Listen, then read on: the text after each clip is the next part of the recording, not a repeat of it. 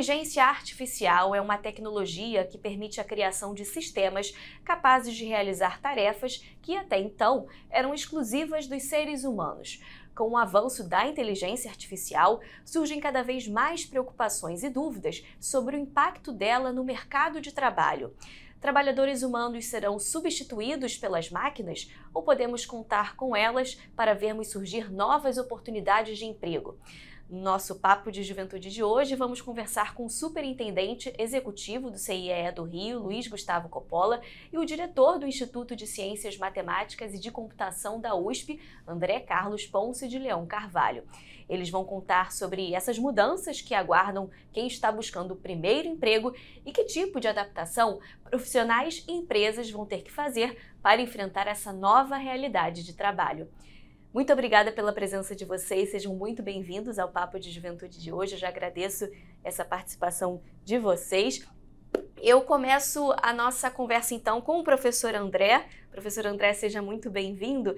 Vamos situar então, né, quem está assistindo a gente, quando a gente fala aí de inteligência artificial. A gente já consegue identificar aí no nosso dia a dia, né, é, a participação dela é, em algumas atuações, em algumas situações.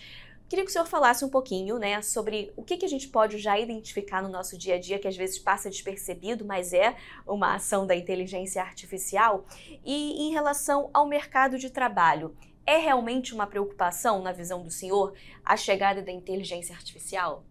Vou começar falando como ela está no nosso dia a dia. Né? Ela já está em várias nossas atividades sem nem percebermos. Né? Quando usamos o celular, até quando usamos a máquina de lavar roupa, já estamos usando a inteligência artificial. É, o efeito vai ser grande, como é o efeito em várias tecnologias. Vai ser maior porque ela permeia várias áreas de conhecimento. É o que vai acontecer. O que vai acontecer é que ela pode beneficiar ou prejudicar. Eu sou otimista, eu acho que vai mais beneficiar que prejudicar. Então, ela vai liberar as pessoas de trabalhos que são rotineiros, enfadonhos ou até mesmo perigosos. E vão criar novos tipos de trabalhos que vão ser mais estimulantes. Tá? Isso aconteceu também com a Revolução Industrial em menor escala né, do que a IA está fazendo atualmente. Então, o efeito vai ser grande, ele vai mudar completamente a forma como nós trabalhamos. Ou seja, tem o um lado negativo, mas tem o um lado positivo também, professor? Isso mesmo, Priscila. Tem um lado positivo e negativo, e a preponderância de, de um deles depende de como nós utilizarmos a inteligência artificial, o IA, no nosso dia a dia. Né? Uma coisa é certa, né? as pessoas vão ter que trabalhar com isso. E como se dá é, esse trabalho dentro das universidades, né? Há um preparo já específico para essa área? Como que está a evolução, né, na, na parte acadêmica em relação à inteligência artificial? No Brasil, a gente está engateando ainda. Se for para o exterior, né, na Inglaterra, por exemplo, desde o ensino básico, as crianças já são expostas, já os conceitos estão por trás da inteligência artificial. A gente tem mais na área de exatas. Né? A USP tem iniciativa, há dois anos atrás, de disciplina de inteligência artificial para toda a universidade, pegar uh, estudantes de todas as áreas de conhecimento. Mas foi a única vez que aconteceu isso. Eu não conheço outras iniciativas parecidas no Brasil.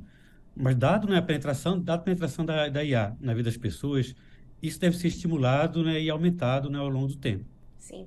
É, Luiz, fala um pouquinho pra gente. É, primeiro vamos explicar, né, para quem está assistindo a gente sobre o CIE. Com certeza, jovem que está assistindo a gente já escutou falar do CIE, é uma plataforma super acessada, né, uma associação super conhecida nessa parte de primeiro emprego, de estágio. Como que vocês estão aí se mobilizando, né, atuando para juntar essa tecnologia da inteligência artificial preparando, né, e dando esse acesso para esses jovens que estão acessando aí é, inicialmente no mercado de trabalho? Como vocês estão fazendo essa, essa movimentação? Bem, bom, Priscila, olá, professor André, é um prazer estar com vocês aqui e com todos os seus telespectadores. É, eu acho que hoje nós temos também uma, uma missão de, de levar uma mensagem é, de preocupação, sim. O professor André colocou a inteligência artificial, ela tem seus pontos positivos, seus pontos de, de preocupação, mas levar uma mensagem para o jovem é, de preparação para o mundo do trabalho. Né? É, diferente das gerações que ingressaram no mercado na, na década de 1980, 1990, a tecnologia, a, a informática, ela foi aprendida no ambiente de trabalho. É, não era não era aprendido nas escolas, não é? A tecnologia, a internet, os sistemas operacionais, ela foi aprendida no ambiente de trabalho. Então, você tinha, tinha aquele suporte da, das empresas para adaptar suas tecnologias, adaptar seus processos na utilização dessa ferramenta. Né? A inteligência artificial, ela mostra hoje para o jovem estudante que é a razão de viver do CIE, do Centro de Integração Empresa-Escola, uma organização que existe há 59 anos, que tem como missão contribuir para a formação da, das futuras gerações de profissionais. Né? Então, a inteligência artificial, ela mostra para esse jovem esse novo mundo do trabalho. Né? As relações de trabalho serão diferentes, os processos serão é, muito automáticos, é, nada de atividade repetitiva, né?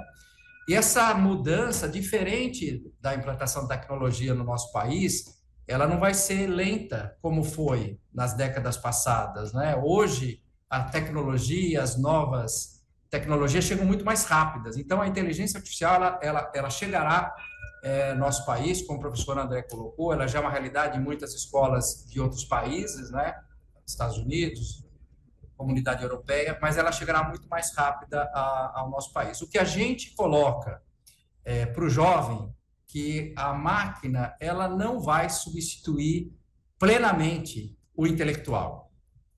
As soft skills que o trabalhador precisa ter para administrar conflito, para lidar com situações que fogem um pouco é, do padrão, porque a inteligência artificial, professor André é um especialista nisso, a inteligência artificial ela repete é, um movimento e ela vai também melhorando, né, um algoritmo. Né?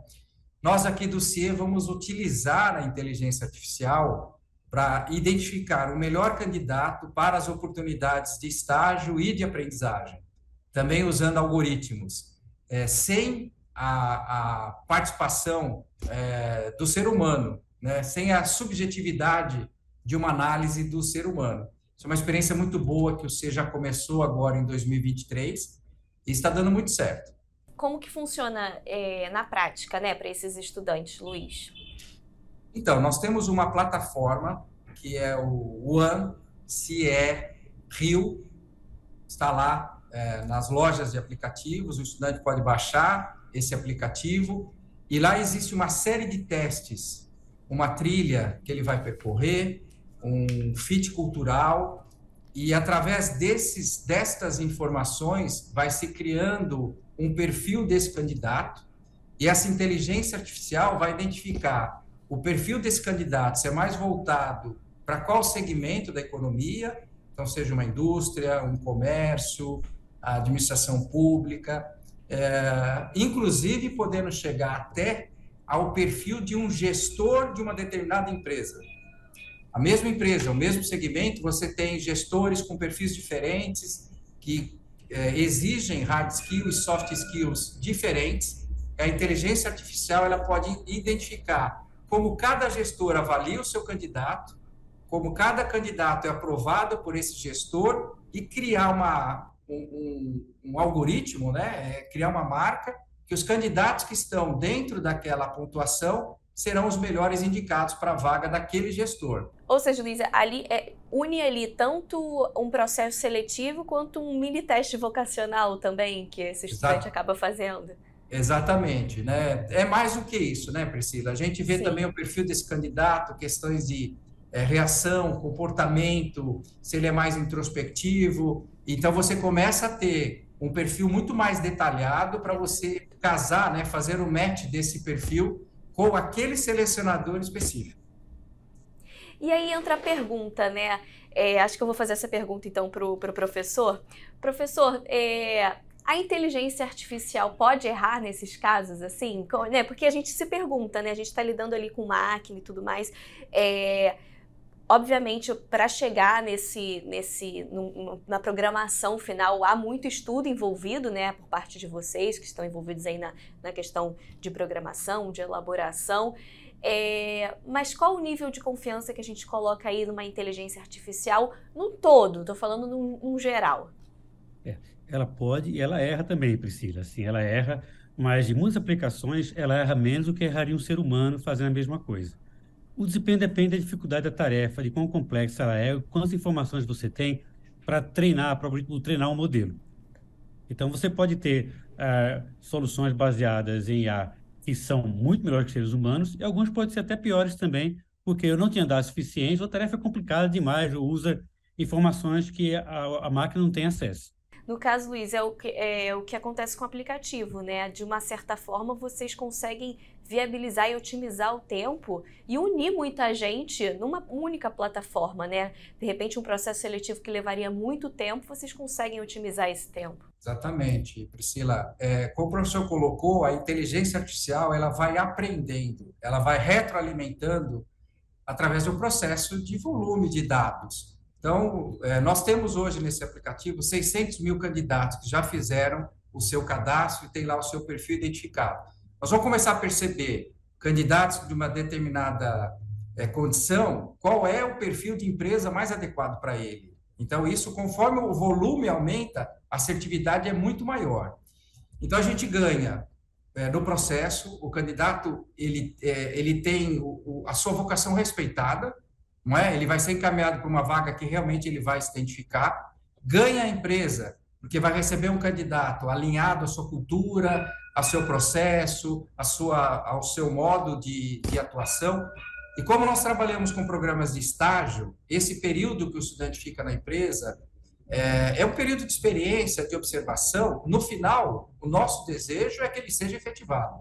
Então, se ele for encaminhado para a empresa certa, para o gestor certo, com atividade compatível com, seu, com, com a sua cultura, com o seu histórico, provavelmente ele será efetivado e começará ali a sua, a sua carreira. Então, a inteligência ela veio trazer esse resultado positivo para os processos do CIE. É um currículo que chega a lugares, muito mais lugares do que né, se fosse daquela, daquele formato um pouco mais antigo, né, Luiz? Exatamente. Né? A gente hoje analisar simplesmente por currículo. O currículo tem umas informações que são frias ali, né? É. é. por isso que tem dinâmica de grupo, por isso que tem entrevista individual. E a nossa plataforma CIE, o OneRio, ela faz todo esse processo, tem toda essa jornada é, e sem a participação, às vezes, subjetiva do ser humano, como o professor André colocou. Se eu posso só complementar, né, eu concordando, tem uma massa muito rica de dados, o CIE, e tem toda a chance de estar uma ferramenta com ótimo desempenho. Né? Além do que o Luiz falou, de você evitar a subjetividade, evita, evita também algum efeito externo. Por exemplo, uma decisão que eu tomo hoje à noite pode ser diferente uma decisão que eu tomo. É, uma decisão que eu tomo hoje à noite pode, provavelmente, será diferente da que eu tomo amanhã de manhã. Porque eu posso estar mais relaxado, mais tranquilo, ou mais descansado. Né? Com a ferramenta, isso não vai ocorrer. Né? A ferramenta vai manter, se manter estável ao longo do dia, ao longo dos dias e das semanas também. É verdade. E aí, Luiz, vamos lá. O estudante, vamos, vamos dizer na, na linguagem de hoje em dia, né? Deu match lá com a empresa. É, como que continua esse processo? Aquela, aquela entrevista pessoal, né? Que são das últimas etapas lá. Ela ainda ocorre ou essa etapa aí também já pula? É, ou ainda se mantém? Não, ela, ela se mantém. A, a entrevista final, que é a última etapa do processo, que envolve diretamente o gestor dessa oportunidade de, de estágio, ela vai ser muito mais produtiva, porque ali você está colocando duas pessoas é, que se identificam na atividade, se identificam na cultura daquela organização, se identificam naquela profissão. Então a entrevista ela vai fluir muito melhor. E tem um fator que é sim subjetivo, mas tem que ser considerado nas relações humanas, que é esse esse é, gostar o brilho nos olhos do, do candidato, né, junto ao, ao gestor. Às vezes a gente fala assim, usando aí um, uma frase popular, ah, eu não fui com a cara daquela pessoa, né? Então, esse, essa entrevista também, ela, ela tem todos os alinhamentos de hard skill, soft skill, mas também essa compatibilidade de gênio, vamos chamar assim, entre o que é importante, claro que é importante na relação, nas relações humanas, entre o gestor e o estagiário. Quer falar, professor André? Ah, não, eu ia falar que o, que o, Luiz, o que o Luiz falou é muito importante. Né? Você tem que ter no final do processo um ser humano. Né? A máquina não é para substituir o ser humano, é ser uma ferramenta de apoio para uma melhor tomada de decisão. Então, a última decisão deve ser sempre de um ser humano. É essa a nossa per a pergunta é, de um milhão aqui do nosso uhum. programa, né? Se substitui ou não substitui é o ser humano, mas a gente vai falar mais sobre isso no próximo bloco, porque a gente vai precisar fazer um intervalo bem rapidinho. Você que está acompanhando a gente, não sai daí não, a gente volta já já. Música